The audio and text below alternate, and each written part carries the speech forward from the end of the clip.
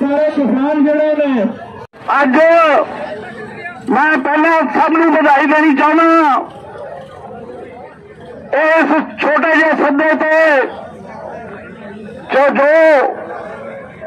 ਸਾਡੇ ਇਸ ਨੌਜਵਾਨ ਵੀਰਾਂ ਨੇ ਅੱਜ ਤੋਂ ਸਿਰਫ 4 ਦਿਨ ਤੇ ਨੌਜਵਾਨੀ ਬਾਰੇ ਹਲਾਓ ਮੜਾ ਝੰਡਾ ਗੰਦ ਬਕਵਾਸ ਬੋਲਦੇ ਨੇ ਕਿ ਸਾਡੀ ਨੌਜਵਾਨੀ ਨਸ਼ਿਆਂ ਨਾਲ ਪੀੜਤ ਹੈ ਉਹਨਾਂ ਨੂੰ ਅੱਜ ਨੌਜਵਾਨੀ ਆ ਕੇ ਦੇਖ ਲੈਣ।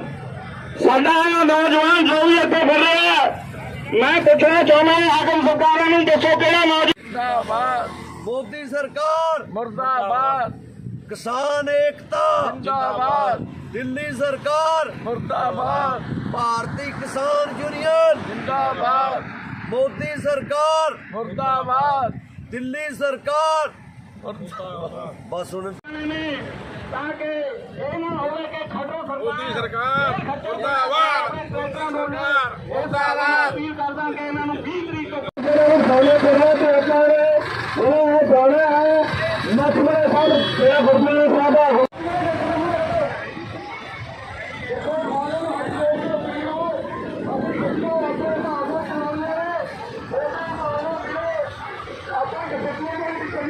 Yeah.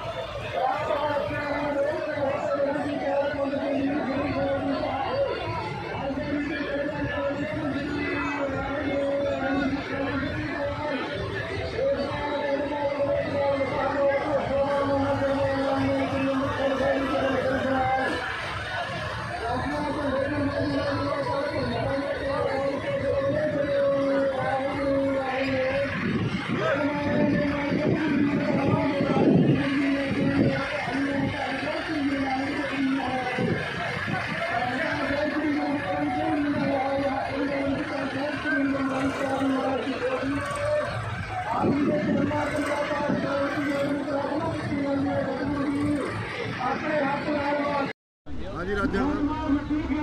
ਮੈਂ ਤਜਿੰਦਰ ਸਿੰਘ ਰਾਜੇਵਾਲ। ਅੱਜ ਸਮਰਾਲਾ ਤੋਂ ਬਹੁਤ ਭਾਰੀ ਗਿਣਤੀ ਦੇ ਵਿੱਚ ਹਜ਼ਾਰਾਂ ਹੀ ਨਹੀਂ, ਅੱਜ ਲੱਗਦਾ ਮੈਨੂੰ ਕਿ ਇਹ ਕਈ ਹਜ਼ਾਰ ਤੋਂ ਲੈ ਕੇ 1500 ਟਰੈਕਟਰ ਦੀ ਅਸੀਂ ਟਰੈਕਟਰ ਰੈਲੀ ਕੱਢਣ ਜਾ ਰਹੇ ਹਾਂ। ਅੱਜ ਮਾਲਵਾ ਕਾਲਜ 'ਚ ਅਸੀਂ ਇਕੱਤਰ ਹੋ ਕੇ, ਵੱਖ-ਵੱਖ ਪਿੰਡਾਂ ਦੇ ਵਿੱਚ ਹੀ ਹੋ ਕੇ ਲੋਕਾਂ ਨੂੰ ਚੇਤਨਾ ਮਾਰਚ ਦੇ ਤੌਰ ਤੇ ਰੈਲੀ ਕੱਢੀ ਜਾ ਰਹੀ ਹੈ। ਤਾਂ ਜੋ ਅਸੀਂ ਸਾਰੇ ਰਲ ਕੇ 26 ਤਰੀਕ ਨੂੰ ਦਿੱਲੀ ਵਿੱਚ ਜਾ ਕੇ ਟਰੈਕਟਰ ਰੈਲੀ ਕੱਢੀਏ ਤੇ ਮੋਦੀ ਦੀ ਨੀਂਦ ਹਰਾਮ ਕਰ ਸਕੀਏ। ਇਹ ਟਰੈਕਟਰ ਰੈਲੀ ਜਿਵੇਂ ਤੁਹਾਨੂੰ ਪਹਿਲਾਂ ਤੋਂ ਹੀ ਪਤਾ ਹੈ ਕਿ ਅਸੀਂ ਸਮੂਹ ਕਿਸਾਨ ਜਥੇਬੰਦੀਆਂ ਪੰਜਾਬ ਦੀਆਂ ਇਕੱਠੀਆਂ ਹੋ ਕੇ ਪਿਛਲੇ ਕੋਈ 4 ਮਹੀਨੇ ਤੋਂ ਸੰਘਰਸ਼ 'ਚ ਕੁੱਦੀਆਂ ਹੋਈਆਂ ਨੇ। ਜਿਵੇਂ ਜਿਵੇਂ ਸੰਯੁਕਤ ਕਿਸਾਨ ਮੋਰਚੇ ਦੇ ਆਗੂਆਂ ਦਾ ਉੱਥੋਂ ਹੁਕਮ ਹੁੰਦਾ ਹੈ, ਉਸ ਹੁਕਮ ਨੂੰ ਪੂਰਾ ਵਜਾਉਂਦਿਆਂ ਹੋਇਆਂ ਅਸੀਂ ਇੱਕ ਇਹਦੇ ਵਿੱਚ ਸ਼ਾਮਲ ਹੋਏ ਹਾਂ। ਅੱਜ ਅਸੀਂ ਇਹ ਜਿਹੜੀ ਟਰੈਕਟਰ ਰੈਲੀ ਕੱਢ ਰਹੇ ਹਾਂ, ਇਹ ਇੱਕ ਚੇਤਨਾ ਮਾਰਚ ਹੈ। ਪਿੰਡਾਂ 'ਚੋਂ ਹੋ ਕੇ ਫਿਰ ਅਸੀਂ ਇਹਨੂੰ ਸਮਾਪਤ ਗੁਰਦੁਆਰਾ ਸ਼੍ਰੀ ਚਰਨ ਕਮਲ ਸਾਹਿਬ ਕਰਾਂਗੇ ਤੇ ਉੱਥੇ ਵਾਹਿਗੁਰੂ ਸਾਹਿਬ ਤੋਂ ਅੱਗੇ ਅਰਦਾਸ ਕਰਾਂਗੇ ਕਿ हे ਸੱਚੇ ਪਾਤਸ਼ਾਹ ਸਾਨੂੰ ਇਸ ਕਿਸਾਨ ਸੰਘਰਸ਼ 'ਚ ਕਾਮਯਾਬੀ ਬਖਸ਼ੇ।